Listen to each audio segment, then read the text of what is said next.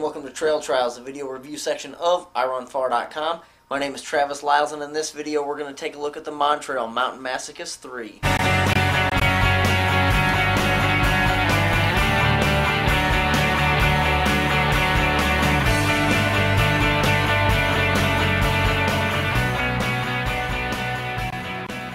The Mountain Masochist is a bit of an oddity when it comes to trail running shoes in general. And that's because it hasn't changed much since its initial launch back in the 2008-2009 timeframe.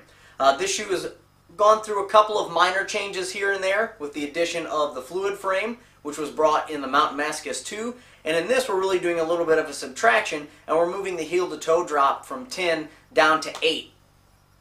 The shoe in general has some very basic statistics. This is a of course, a trail running shoe, it weighs in at just over 11 ounces, though that's not published on, on Montrail's website.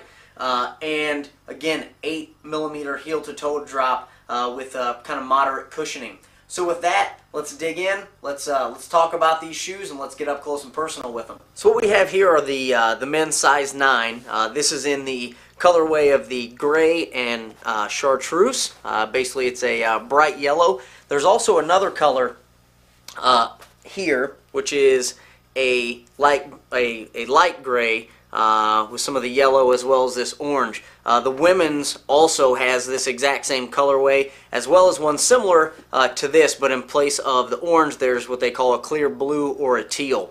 Uh, so that's what you're looking at. Uh, again this this shoe weighs in at right around 11 ounces. Uh, it's not published on their website but that's what I've, I've come up with. Uh, and overall, let's just uh, let's just start at the tread and, and, and, work our way around. So, if you're familiar with mountain masochists in the past, you're going to see nothing different here on this tread pattern. Uh, some of the things I like about this tread pattern are, of course, you have uh, the forward-facing lugs and the reverse-facing lugs. Um, you have some of these cutouts in, in here as well, or these blades. Uh, and I found these actually to work really well on some loose as well as uh, muddy uh, type type conditions because that stuff tends to get in these little divots. Uh, not enough to hold it like a pocket, but enough that it sort of gunks up in there and gives you some added traction. There's also some interesting cutouts here uh, that you see in this yellow. And the thing I really enjoy about these is that even though this shoe has uh, more volume than, say, a minimal shoe, it keeps your arch and the outside of your foot relatively close to the ground. And for me that makes for a really stable ride uh, keeps my ankles from uh, from twisting. Uh, and and just in general I've had a lot of good success with these and I feel like a lot of it has to do with this sort of low to the ground feel even though you can see uh, you do have a decent amount of foam uh, in the heel. They use Gryptonite uh, which is a very common tread material that that Montrail uses and you, of course that that's used all the way throughout uh, which is a little bit of a sticky rubber, more of a general purpose, uh, but again, tends to work well, tends to hold up well uh, over long distances. Um, I'm comparing this, of course, to my old versions of, of the Mountain Masochist, the two and the ones that I've had, uh, but I'm generally able to get, you know, 300 plus miles uh, out of a pair of those shoes before I really have any problems at all. Uh, specifically on the tread, it seems to do really well and, and definitely last the life of the shoe.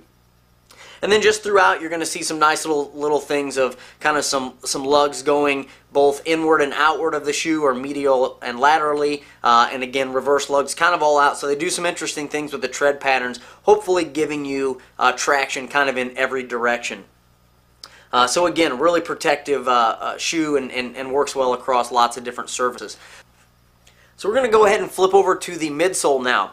And the midsole again is, is pretty much unchanged from, from the version 2. Version 2 brought the fluid foam, uh, which is Montrail's proprietary way of, of basically creating stability in the shoe without adding in a huge uh, wedge, right, of a, of, of a frame in here that's going to help with pronation control. So versus, you know, one kind of foam and then laying a block of, of harder foam in there, they have these various types of foam all the way throughout. So soft, hard, soft, hard, soft, hard, all throughout here. So it creates stability without being one big chunk of foam in there uh, that could possibly you know push your foot to roll to the outside. So this is a much more gradual post than what you see. We looked at the same exact uh, stuff in the in the Montrail Mountain Masochist 2 as well as the Fluid Flex ST that we reviewed last time. So again, this is something that uh, I, I think works well. I'm a bit of a pronator. Um, I feel like this is a, a nice way of adding some stability on the trail without having to worry about having a full-blown post in there. But overall, very um, very good foam, very cushioned ride, not spongy, you know, like a Hoka or anything like that, like a super cushion shoe. Definitely in, uh, I'd say in the middle of the road in terms of, uh, of having enough foam in there that you have shock protection, that you have rock protection, that it's something you can wear on your feet for a long time, um, but not so little that you lose that ground feel. So I feel like, again, with these kind of cutouts here in the side and the way this shoe rides, uh, it does really well. I also feel like it can do just fine on, on road, gravel, technical, downhills, uphills. Uh, this midsole to me is a very good general purpose midsole. Uh, and as you can see, it's this just consistent foam uh, all the way around with the exception of the fluid frame that's going to exist really from about the middle part of the heel uh, to right about where the forefoot starts here, uh, kind of on the ball of your foot. All right, so let's, uh, let's hop up here to the, to the upper. Um, one of the things I noticed was a slightly less hard toe cap area. Uh, the apex here where the sole wraps around is still very much a good, you know, going to be able to take some abuse if you catch your toe on something.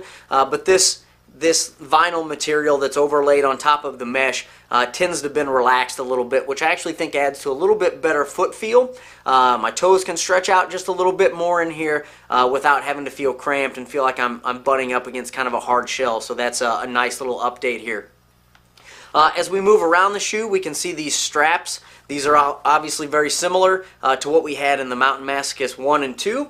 Um, so the ability to create that cinch around the foot, which I feel like is really good, especially for technical stuff, for running downhill hard and cornering. Uh, these things really grip my foot well, uh, and I feel like put a put a nice hold on top of them. So you see that throughout, and of course on on both sides.